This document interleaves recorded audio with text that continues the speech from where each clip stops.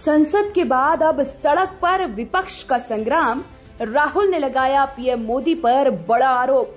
कहा, सदन में पहली बार हुई सांसदों की पिटाई, मार्च निकालने के बाद कांग्रेस नेता राहुल गांधी मीडिया से मुखातिब हुए और केंद्र सरकार पर जमकर हमला बोला।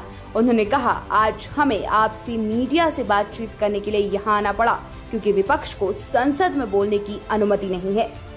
केंद्र के तीन कृषि कानूनों को रद्द करने की मांग को लेकर राहुल गांधी समेत कई विपक्षी नेताओं ने गुरुवार को संसद के विजय चौक की ओर मार्च निकाला। मार्च निकालने के बाद कांग्रेस नेता राहुल गांधी मीडिया से मुखातिब हुए और केंद्र सरकार पर जमकर हमला बोला। उन्होंने कहा, आज हमें आपसे मीडिया से बातचीत करने के लिए यहाँ आना पड़ा, क्योंकि विपक्ष को संसद में बोलने की अनुमति नहीं है। ये लोकतंत्र की हत्या है।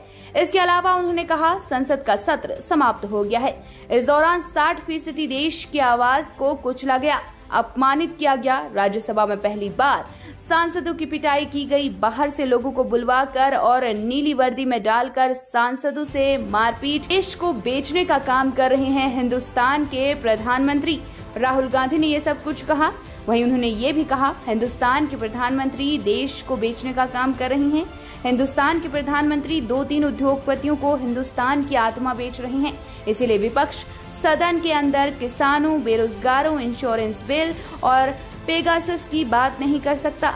राहुल गांधी ने कहा, नरेंद्र मोदी किसानों पर अत्याचार करते हैं। जो उनका है, वो उनसे छीनते हैं और फिर किसानों को देशद्रोही और खालिस्तानी कहते हैं। इस पर बहस से भाग रही सरकार, राहुल गांधी। हमने सरकार से पेगासस पर बहस करने के लिए कहा, लेकिन सरकार ने मना कर दिया। हमने संसद के बाहर किसानों का मुद्दा उठाया, लेकिन सरकार ने हमारी आवाज़ नहीं सुनी। संसद में कल मार्शल लॉ लगाया गया था, संजय राउत। हमने कल लोकतंत्र की हत्या होती देखी। राज्यसभा में कल जिस तरह से प्राइवेट लोगों ने मार्शल की ड्रेस में हमारे सांसदों पर हमला करने की कोशिश की, ये मार्शल नहीं थे। संसद में मार्शल लॉ लगाया गया था। किसी को दोषी नहीं देना चाहता। मैं किसी को दोष नहीं देना चाहता, एच डी देवगौड़ा।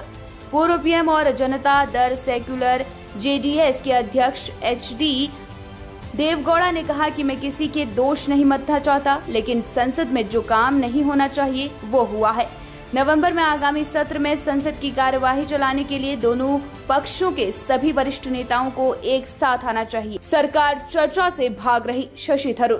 कांग्रेस सांसद शशि थरूर ने कहा कि केंद्र संसद की कार्यवाही ठीक से नहीं चलाना चाहता। सरकार बिना चर्चा के कानून पारित कर रही है। कोरोना टीकाकरण, वर्तमान आर्थिक स्थिति, बेरोजगारी, कृषि कानूनों पर चर्चा होनी चाहिए, लेकिन सरकार भाग रही है। संबित पात्रा ने कांग्रेस पर हमला बोला। भाजपा नेता संबित पात्रा ने कहा, जिस प्रकार का व्यवहार आज कांग्रेस पार्टी और कुछ अन्य विपक्षी पार्टियाँ सड़क पर उतर कर कर रही हैं, जिस प्रकार अराजकता संसद के अंदर विपक्षी पार्टियों और खासकर राहुल गांधी के नेतृत्व में कांग्रेस पार्टी ने दिखाया है उससे पूरा देश और लोकतंत्र शर्मसार हुआ है।